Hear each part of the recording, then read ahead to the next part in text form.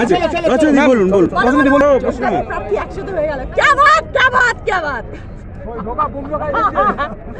বলো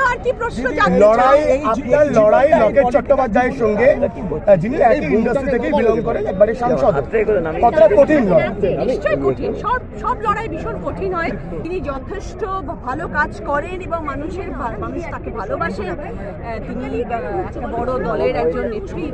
তো সেটাই হোক কিন্তু আমিও আছি তৃণমূল কংগ্রেসের হয়ে দাঁড়িয়েছি।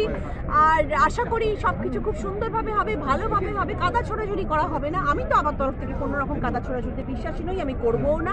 আমি আমার মানুষের ক্যামেরা না বাবা ক্যামেরা নামা, ক্যামেরা নামা, একটু শেষ। তাকে যদি মানুষ আমাকে ভালোবাসেন বাসবেন, যদি ভালো ভালোবাসেন তৃণমূল কিছু নয়। তৃণমূল কংগ্রেসে কবে এবং কেন তৃণমূল কংগ্রেস? মুখটা দেখা যাবে বুমগুলো নাও। না ভাই। কারণ আমি নারী শক্তিতে। বিশ্বাসী রাজ্যের মুখ্যমন্ত্রী একজন নারী তার পাশে আমার থাকা উচিত বলে। কতটা আশাবাদী? প্রচুর ভাবে আশাবাদী হান্ড্রেড পার্সেন্ট আশাবাদী। প্রধানমন্ত্রী বলছে চব্বিশে চব্বিশ। হ্যাঁ? আমি- আমি বলি বিয়াল্লিশে বিয়াল্লিশ। অনেকে অনেক কিছু বলতে পারেন। আমি বলি বিয়াল্লিশে বিয়াল্লিশ। কে কি বলছে ভাবলে হবে তো? বলছি বলছি এবারে লোকসভা নির্বাচনের আগে বিরোধী রাজনৈতিক দল আপনার দলের বিরোধী রাজনৈতিক দল বার অভিযোগ রয়েছে।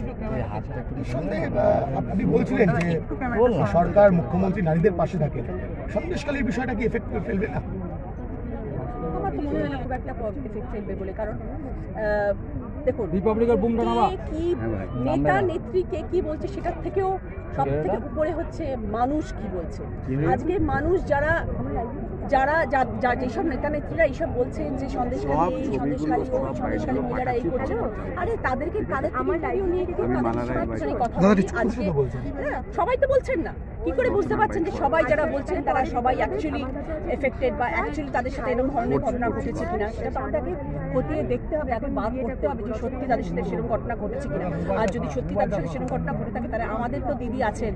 দিদি নিশ্চয়ই বিচার করবেন দিদি কখনো বিচার না করে থাকবেন না।